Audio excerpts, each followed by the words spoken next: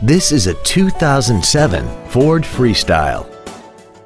This crossover has an automatic transmission, a 3.0-liter V6, and all-wheel drive.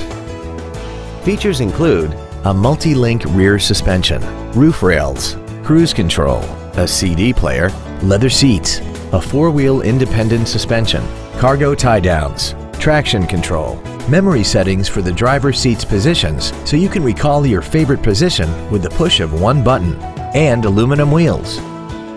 This Ford has had only one owner and it qualifies for the Carfax buyback guarantee. We hope you found this video informative. Please contact us today.